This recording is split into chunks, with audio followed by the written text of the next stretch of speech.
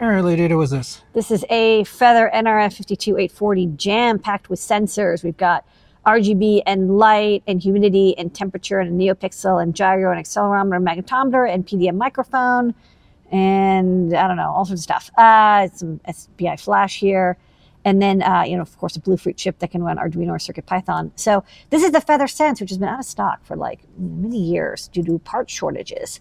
Um, but I just redesigned it to use all parts I can get. And then I'm also updating the tester so we can get these back in stock. Um, so the tester has been picoified. So used to be with the Teensy 36, but the Teensy 36 is unavailable because the chip is no longer being manufactured. Uh, so it's got updated to use the NRF52 840 uh, sorry, the uh, RP2040. Uh, it does program over SWD. It does take a while because it's a really big demo program that like tests all the sensors. But then, hold on, I have to, yeah, there you go. Tester complete. In about 22 seconds, uh, it tests all the sensors and it's ready to go. So we'll get this back into the shop real soon.